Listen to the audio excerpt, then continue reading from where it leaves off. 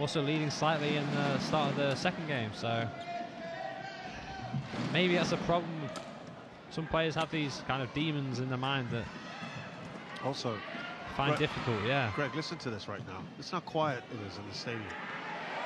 It's just not the same. It was they were cheering even between rallies. A so-called away player. This is this is literally music to your ears. You can actually hear music now because you want to silence this crowd.